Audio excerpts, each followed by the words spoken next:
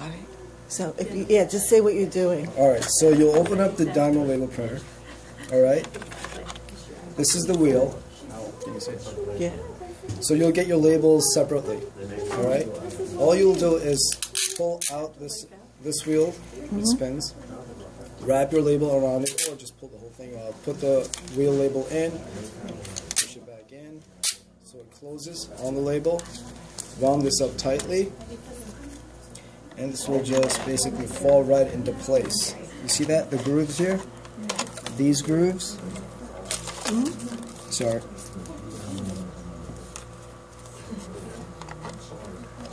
falls right into place like that. Then you can just spin this label up. This label has to go to the left, and I think what's important is you see where I'm putting it in. All right. If could I borrow Lisa? Could you just hold this for me? Yeah. You're gonna pull this lever forward if this is not plugged in, and then to the left of it, just feed it right in. And then close it. Thank you, Lisa. That's it. That's it. And when you're plugged in, you select this button, and it will spit it right out. Okay?